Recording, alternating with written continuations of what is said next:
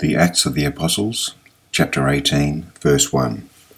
After these things, Paul departed from Athens and came to Corinth, and found a certain Jew named Aquila, born in Pontus, lately come from Italy, with his wife Priscilla, because that Claudius had commanded all Jews to depart from Rome, and came unto them. And because he was of the same craft, he abode with them and wrought for by their occupation they were tent makers. And he reasoned in the synagogue every Sabbath, and persuaded the Jews and the Greeks. And when Silas and Timotheus were come from Macedonia, Paul was pressed in the Spirit, and testified to the Jews that Jesus was Christ. And when they opposed themselves and blasphemed, he shook his raiment, and said unto them, Your blood be upon your heads, I am clean from henceforth I will go unto the Gentiles. And he departed thence, and entered into a certain man's house named Justus, one that worshipped God, whose house joined hard to the synagogue. And Crispus, the chief ruler of the synagogue, believed on the Lord with all his house, and many of the Corinthians, hearing, believed, and were baptized.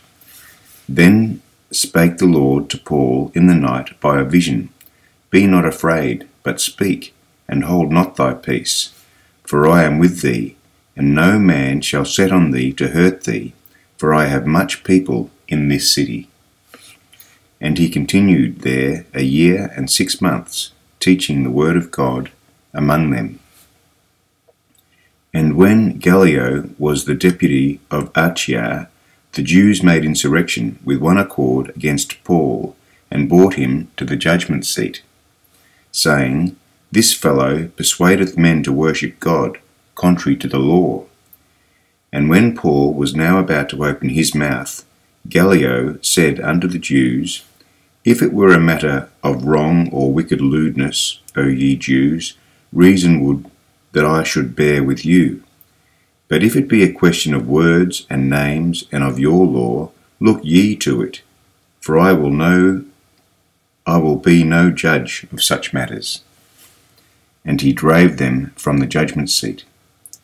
Then all the Greeks took Sosthenes, the chief ruler of the synagogue, and beat him before the judgment seat, and Gallio cared for none of those things.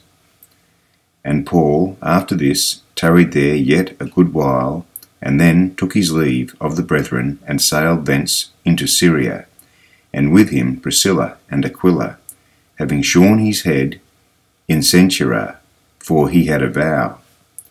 And he came to Ephesus, and left them there, but he himself entered into the synagogue, and reasoned with the Jews. When they desired him to tarry longer time with them, he consented not, but bade them farewell, saying, I must by all means keep this feast that cometh in Jerusalem, but I will return again unto you, if God will, and he sailed from Ephesus.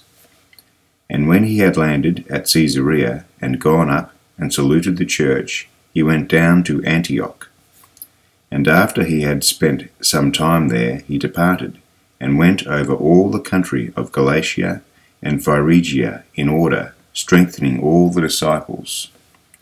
And a certain Jew named Apollos, born at Alexandria, an eloquent man, and mighty in the Scriptures, came to Ephesus.